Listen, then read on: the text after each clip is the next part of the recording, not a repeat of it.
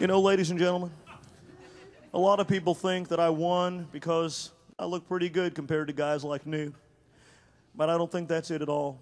So, right now, I'd like you to meet the man whose impeccable sense of timing contributed the most to my reelection. Please welcome Mr. So Damn Insane.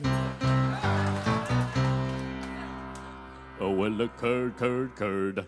Kurd is the word. Oh, well, a Kurd, Kurd, Kurd. Kurd is the word. Oh, well, a Bum Kurd. bum bum bum bum Iraq.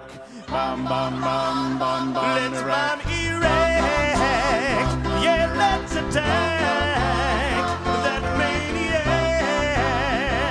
maniac. So now my missiles are a cruising, Giving me a bruising in Iraq. bomb, bomb, bomb, bomb Iraq. Send home your plane I'm feeling your pain. to mess with you in an election year. I had to be insane.